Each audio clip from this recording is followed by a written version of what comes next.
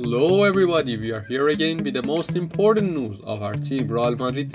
Let's start the news together.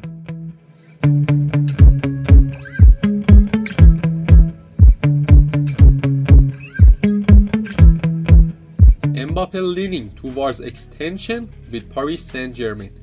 Despite Real Madrid being his childhood dream club, Kylian Mbappe is expected to sign a two-year extension with Paris Saint-Germain.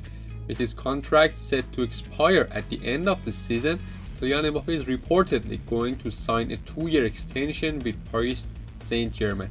Mbappe, 23-year-old, and has established himself as one of the world's premier players with 24 goals and 16 assists in his 32 Ligue One features this season and 6 goals with 6 assists in 8 Champions League games in his 4 seasons since arriving in Paris in 2018, he has won three Ligue One titles with one runner-up finish, but has never won the Champions League. A disappointing exit in the first knockout stage, the campaign was supposed to push the young star out the door, but that may not be the case.